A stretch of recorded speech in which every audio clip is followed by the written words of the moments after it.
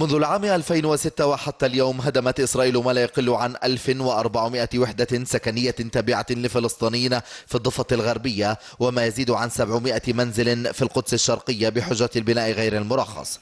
جراء تلك السياسة فقد آلاف الفلسطينيين مساكنهم نصفهم من الأطفال.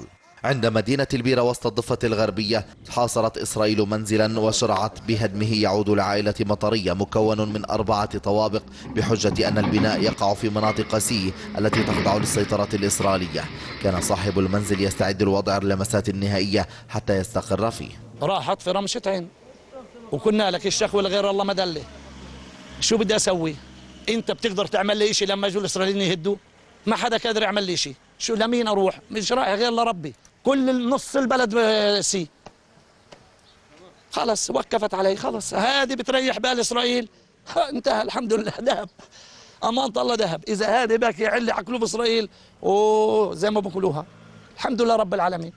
وبالقرب من مستوطنة بساغوت حاصر عشرات الجنود المنطقة وشرعوا بعملية الهدم التي استمرت لأكثر من أربع ساعات.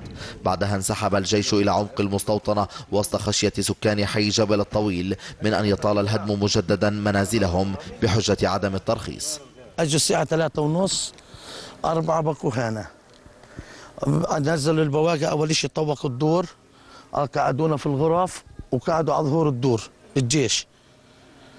وصاروا يتفكتوا في ظلال الدور وفي الغرف وشيء وبعدين قعدونا بعدين أطلعوا الجرافات والبواقر. ممنوع واحد يحكي ممنوع خليكم قاعدين. إحنا هل ولا واحد يعني بدناش ولا واحد معه ترخيص مش قابلين يعطونا. قدمت طيب حاولت قدموا كل شيء و... ومش قابلين يعطوا.